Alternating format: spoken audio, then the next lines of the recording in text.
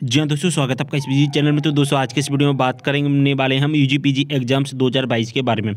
जी हाँ दोस्तों, परीक्षाओं के संबंध में यूनिवर्सिटी से एक महत्वपूर्ण आदेश आया है। अब दोस्तों, क्या महत्वपूर्ण आदेश आया है, वो हम इस वीडियो के माध्यम से जानेंगे।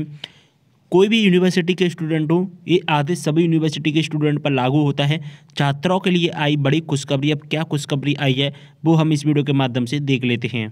तो जैसा कि यहाँ पर आप देख पा रहे हैं, यहाँ पर क्लियर मेंशन किया गया है देवी यूनिवर्सिटी के द्वारा एक आदेश आया है, लेकिन दोस्तों आदेश है, वो हायर एजुकेशन डिपार्टमेंट के द्वारा जारी किया गया था, और ये जो आदेश है, वो सभी यूनिवर्सिटी के स्टूडेंट पर लागू होता है, आप किसी भी यूनिवर्सिटी के स्टूडेंट हो। मैंने इस आदेश के बारे में आपको एक वीडियो के माध्यम से बताया भी था, लेकिन उस वीडियो में आपके सबसे ज़्यादा कमेंट आए। इसलिए मैंने अब यहाँ पर यूनिवर्सिटीज़ बाय आपको बता रहा हूँ। अब देखिए यहाँ पर लिखा गया है कि विषय कोविड नाइन संक्रमण के कारण परीक्षा में शामिल नहीं हो सके विद्यार्थियों की जानकारी विषय जी हाँ दोस्तों, आपको पता है कि इस टाइम पर एग्ज़ाम चल रहे हैं और अगर कोई भी एग्ज़ाम्स में, अगर कोई स्टूडेंट यहाँ पर शामिल नहीं हो पाता है, किस कारण से? कोविड नाइन संक्रमण के कारण से। यानी कि एग्ज़ाम चल रहा है, यानी कि कोई ड्यूरेशन है, यानी कि एग्ज़ाम का टाइम टेबल है और इस एग्ज़ाम के टाइम टेबल में कोई स्टूडेंट जी हाँ दोस्तों, कोई स्टूडेंट अगर कोरोना पॉजिटिव आ जाता है तो फिर क्या होगा? वो एग्ज़ाम में सम्मिलित नहीं हो पाता है। तो इसीलिए क्या आदेश आया है कि अगर कोई एग्ज़ाम के टाइम में कोई स्टूडेंट अगर कोरोना का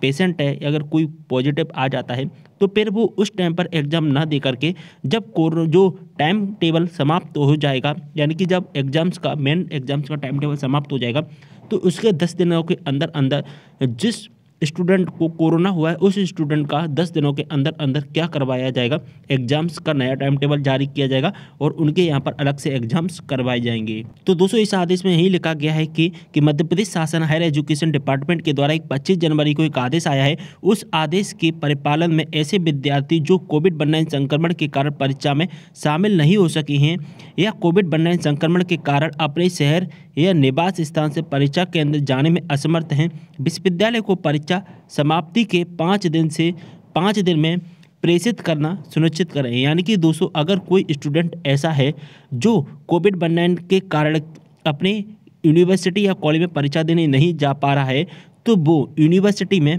पाँच दिन के अंदर या कॉलेज में पाँच दिन के अंदर अंदर यहाँ पर अपना एक एप्लीकेशन दें जिससे क्या होगा यहाँ पर एप्लीकेशन देने से क्या होगा, जिससे एक लिस्ट तैयार की जाएगी और उस लिस्ट के अंतर्गत जितने भी स्टूडेंट होंगे, उन सभी स्टूडेंट का एक अलग से टाइम टेबल जारी किया जाएगा और फिर इनके अलग से एग्ज़ाम्स करवाए जाएँगे। ओके? तो उम्मीद कर रहा हूँ पूरी इन्फॉर्मेशन समझ में आ गई है। ऐसे स्टूडेंट जिनको कोरोना हो गया है कोरोना पेशेंट हैं तो फिर उनको अब यहाँ पर बहुत बड़ी खुशखबरी उन स्टूडेंट के लिए कि अब वो बाद में भी एग्ज़ाम्स दे पाएँगे, ठीक है? अब बाद में भी एग्ज़ाम्स दे पाएँगे वो उनको ऐसा नहीं सोचना है कि हमारी साल ख़राब हो गई है, ऐसा नहीं सोचना है, आप एग्ज़ाम्स बाद में भी दे पाएँगे आप, ओके? तो पूरी जानकारी समझ में आ गई है। वीडियो को शेयर कर दी सभी के साथ में कोई भी डाउट हो, कमेंट करें। इंस्टाग्राम पर फॉलो नहीं किया फॉलो कर लेना। मिलते नेक्स्ट वीडियो के साथ, तब तक ली बाय